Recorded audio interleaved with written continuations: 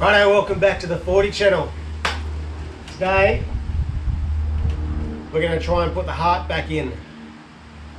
The mighty big 2H. Now, as you know, this is not the original motor. It should have been a 2F, but it was ripped out due to having some issues from the last owner, and he's done the modification to put the 2H motor in. I'm okay with that. I'm pretty happy with that, and uh, it's going to go back in. So we've just done a big clean up on it, uh, as much as we can, and while it's back in there, then we'll look at uh, cleaning some other components up while it's in there. But just gets it out of the way, we can keep moving forward and try to make this whole thing come together, I think. So let's get it in. Need to give a shout out to 47 Troopy Life. Check their Instagram page out. I've got a bit to learn about this 40.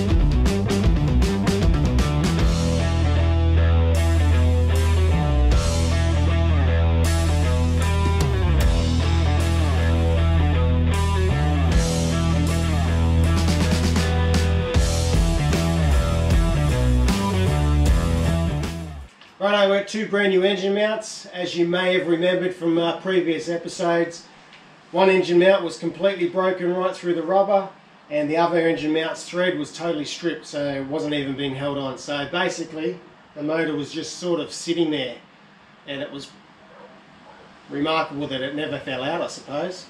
Anyway, let's mount these up. Just going to clean up under that mount there.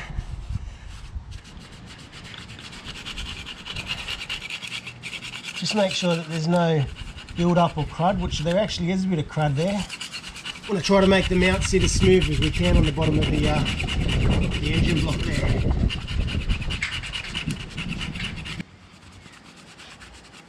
I know being the 2H it's going to be a bit different to your 2F. Got your locating pin, gets up through here. Now it's pretty much size for size. The last guy, what he did is he ground down the top of the pin to get it up, which made it really sloppy and is possibly why there was damage to the, uh, the old engine mount. So I think what we're going to try and do, I'll just give it a quick spray with some WD-40 under there. Try and line it up. See if we can tap it on.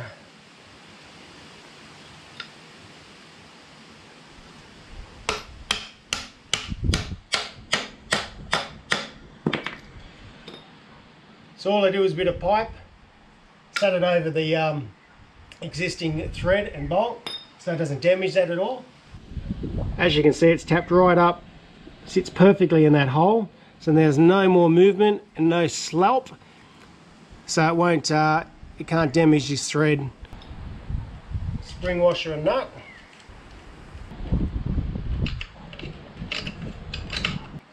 Let's just try and give it a fairly decent tighten up without wanting to damage the thread or strip the thread or stretch it.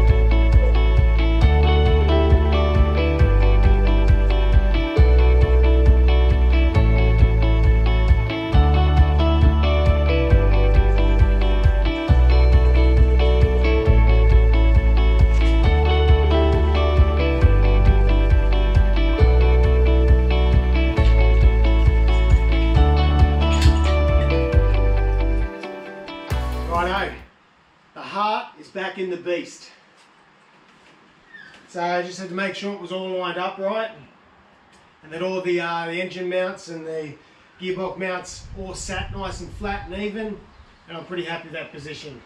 So we're still a little bit of room to move if we need to. We can put all the bolts up and do them all up. And uh, now that it's in here, it's going to make it a lot easier to actually do anything that I need to do with this motor. Now I can move it around a bit. It's not sitting on a pallet. It's not in the way. I've created some more room for myself. Happy days, that's pretty exciting.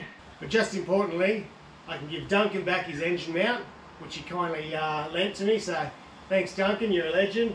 Really appreciate that. Duncan's more of a Nissan man. So I won't hold that against him. But our next plan is to do a very basic strip down of the motor, basically just to give it a really good clean, and then we can give it a nice paint just to make it look pretty. So we'll strip off the exhaust manifold, the intake manifold, we'll take off the alternator and any other little bits and pieces that are in the way. And then we can clean it up. What do you reckon, Jack? Nice. Alright, let's do that. The exhaust manifold's got uh, two broken bolts here, they're missing. Intake manifold just down here has got a uh, blown out gasket, which probably was never put in right in the first place. So it's worth taking these off and replacing them.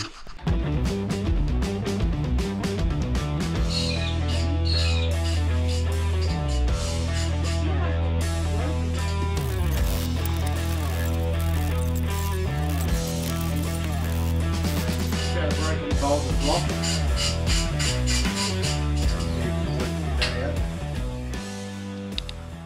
Stop. See, it's un, it's loosening that as well. We only want to loosen that, so we might put a spanner on that, tighten that back up. This this here is supposed to keep them really tight, stop them from moving. So don't let that move. Edic motor, you've got this arm here, so we want to remove this arm. So we're just going to pop this clip off, and then it'll come straight off.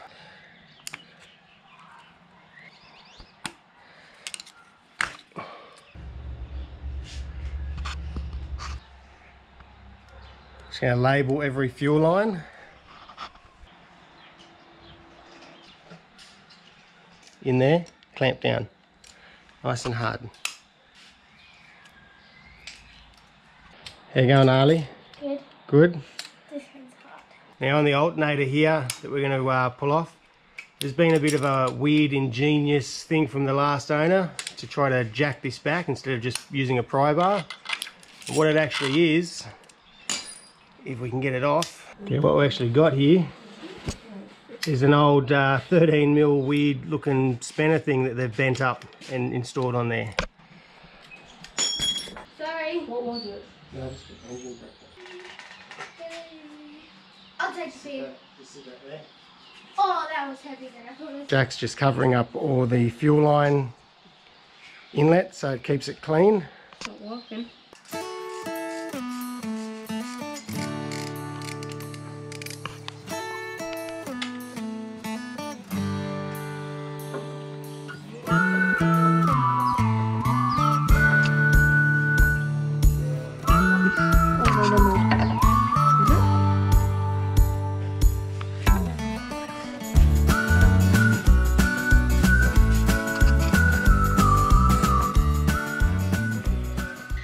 I've been trying to remove some of these um, stud bolts or the manifold bolts and they are not moving. They're absolutely stubborn as.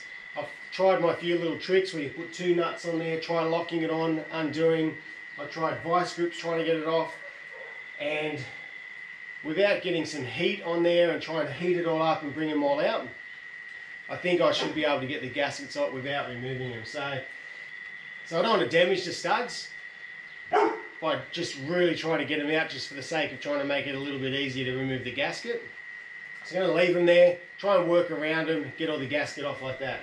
If that doesn't work, then we will try to maybe put a bit of heat around the bolt and then take them off. But at the moment, we'll work around them. Righto, so we just want to clean all these gaskets off, all the old gaskets off the intake here. We want to clean it up as best we can. So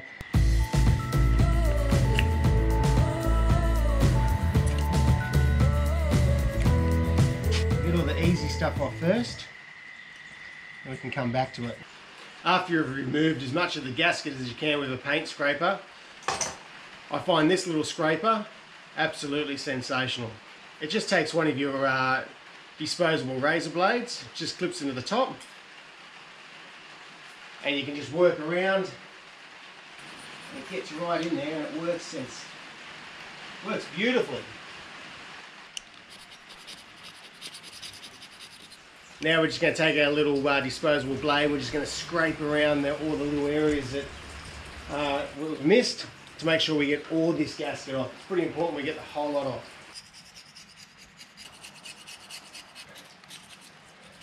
Just getting a bit of heat shrink. Just the right size for this. Just screw it down over the thread.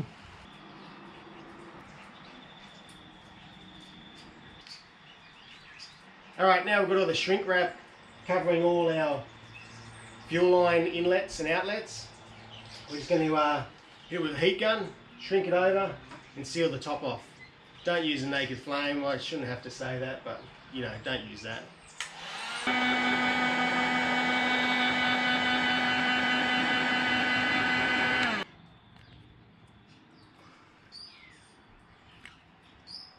So once you heat it up, grab the top, give it a bit of a twist, and that'll seal it off.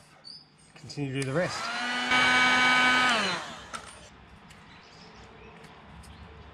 It is hot, so just do it quickly. This will protect the fuel lines, make sure that no dirt, grime, dust, water, anything gets into those lines. Just been scraping out all the all the grease and gunk and rubbish that's built up from all these damaged gaskets where it's leaked down all over the, the block. So I'm just giving it a big scratch. I've scratched all back with a paint, paint scraper, just hitting it with a wire brush now. I'll give it a bit of a spray of degreaser. Now I'm trying to work carefully because I do not want to get any too much crap into here and I don't want to damage any of these surfaces. I'm just working all around that and then I'll be able to sort of seal all of that up uh, a bit later on. So we'll just keep scrubbing away all this build up of rubbish that's come out over the uh, over the years. Industrial cleaner, some degreaser.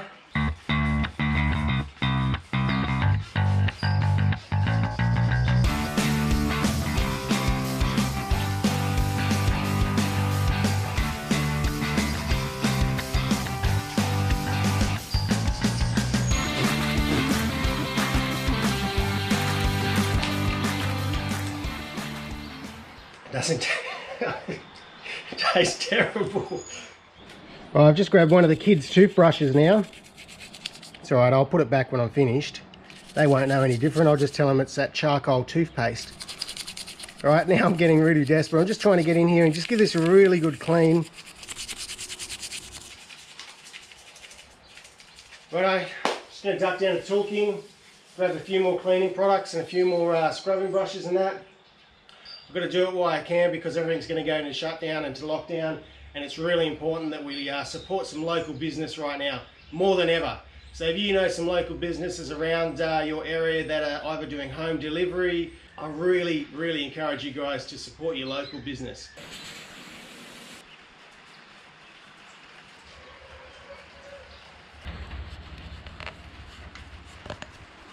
Righto, I've been on an absolute painting frenzy painted all the block of the motor. Most of it did by uh, hand with a little small paintbrush just to get around everything without getting paint in everything. Uh, painted all your fuel rails, heater pipes, brakes, uh, bits of the front of the motor, um, bracketry, extractors. I painted everything, I've just gone ballistic. So I've spent a lot of time cleaning and scrubbing it all, degreasing it, wax and grease remover, cleaning it right down, priming and painting, and the end result has been awesome. But I will try and clean up the uh, tappet cover. We use some hydrochloric acid and water, one to four mix. I don't know if that's right or not, but we'll give it a go and see how it turns out.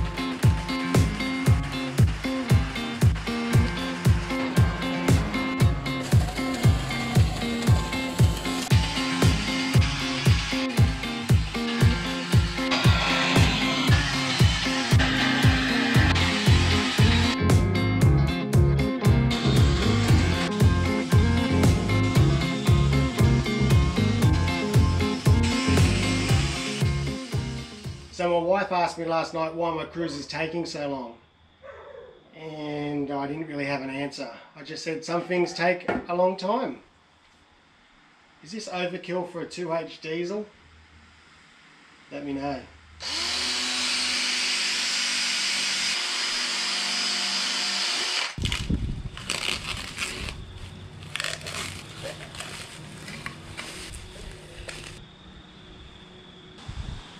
Know some of you guys are thinking this is all a bit of overkill for a 2H diesel. But it looks pretty for now. Anyway, new gasket or new uh, new O-ring seal, I guess you'd more more likely call it. Set that on top.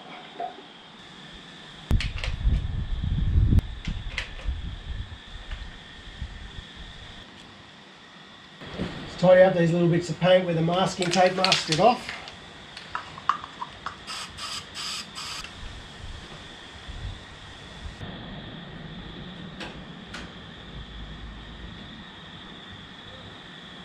Righto, we're going to try to remove these damaged studs. What we've got here is um,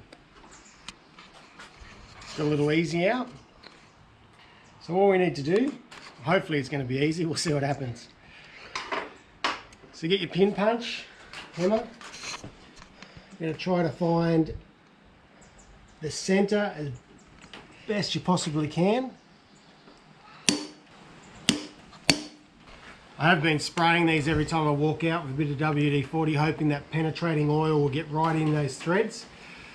Fingers crossed. Pick the right size drill. You don't want to go too big. Right on your centre punch mark.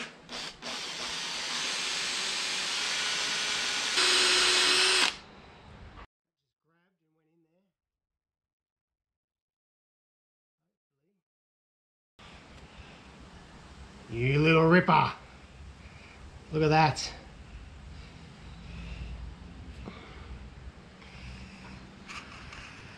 Righto, so we got one damaged stud out, two more to go. Hopefully they're as easy as that.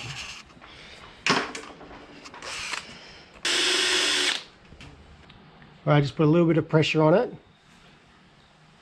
and unscrew it and let it bite into the stud. Coming out. Yep. Nice job. Another one out, one to go. Try to keep it as straight as you can.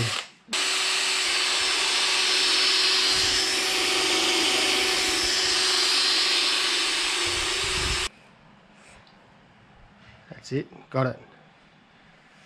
Righto. Good job, Jack. We rescued all three of them without doing any major damage. Yep. If this was the intake manifold side, it's really important that you tape up this hole. You don't want any swarf or any crap getting inside the intake. That'd be a bad thing. So just a point to remember, I didn't point that out before. But if you're doing intake, tape it up, exhaust, it's not as critical.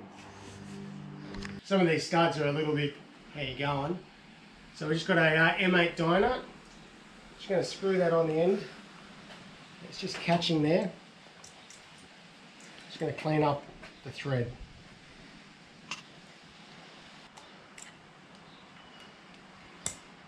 Jack's just making sure that uh, all the surfaces are nice and clean. There's no bits of dirt or swarf or anything that's left on them. So we have a perfectly clean surface on the block. Make sure that all these surfaces are clean and they're ready to go. So a new gasket set. Jack's going to throw on the gaskets. Just carefully work them on.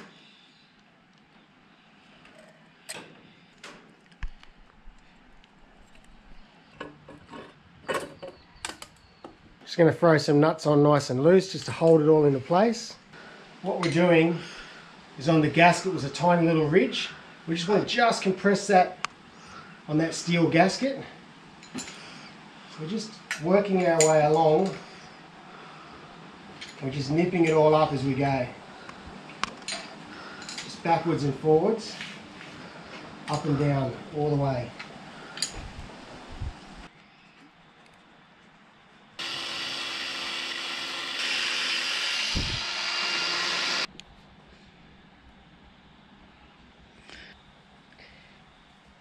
Just put another.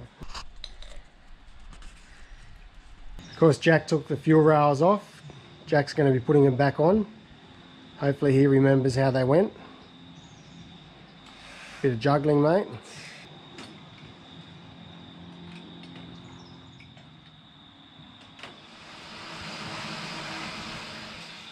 Righto, that's it.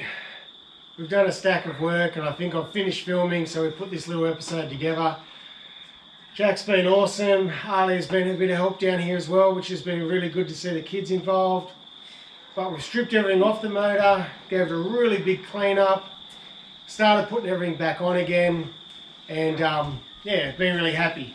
Happy with the way the tappet covers come up. Lots of polishing, so those polishing discs were from Tool King. They gave us them and let us try them out. It's come up awesome. All the fuel rails, unfortunately I had a bit of a mishap with one of the fuel rails. So I have to chase down a spare fuel rail now. That's my fault. Um, painted all the motor blue. What's the blue remind you of, Jack? Oh, fox pit. Fox Fit Blue. Uh, before I started this, I used to make fitness equipment. I used to paint it that colour blue, so happy days. Righto guys, thanks for your support. Really appreciate it. Make sure you subscribe, hit the like button, leave a comment if you like down the bottom. Righto guys, now most importantly, I really ask you guys to make sure that you phone your friends, check in on those that you would normally see that you haven't seen for a while because we're all separated, we're all in lockdown all around the world and there's people there that um, don't have FJ40s to work on. So they would be going insane. They'd be um, struggling, I can imagine. So check on your loved ones and look after each other and look after yourselves. Righto, thanks guys. Thanks for watching.